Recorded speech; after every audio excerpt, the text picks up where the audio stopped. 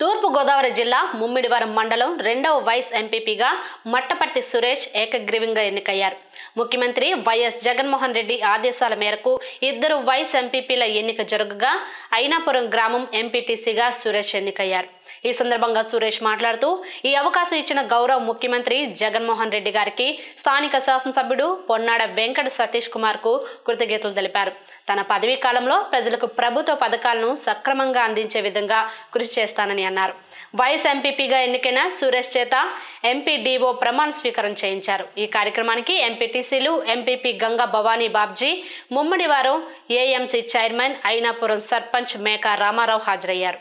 అసలు నేను మట్టపర్తి సురేష్ అనే నేను తూర్పుగోదావరి జిల్లా తూర్పుగోదావరి జిల్లా ముమ్మడివరం మండల పరిషత్ ముమ్మడివరం మండల పరిషత్ రెండవ ఉపాధ్యక్షునిగా రెండవ ఉపాధ్యక్షులుగా అమలులో ఉన్న అమలులో ఉన్న శాసనం ప్రకారం శాసనం ప్రకారం భారత రాజ్యాంగం పట్ల భారత రాజ్యాంగం పట్ల యథార్థమైన యథార్థమైన శ్రద్ధానిష్టలు కలిగి శ్రద్ధానిష్టలు కలిగి ఉండగలనని ఉండగలనని నేను స్వీకరింపబోవు నేను స్వీకరించబోవు బాధ్యతను బాధ్యతను విశ్వసనీయంగా విశ్వసనీయంగా నిర్వహించగలనని నిర్వహించగలనని భగవంతుని పేరిట భగవంతుని పేరిట ప్రమాణం చేస్తున్నాను. ప్రమాణం చేస్తున్నాను.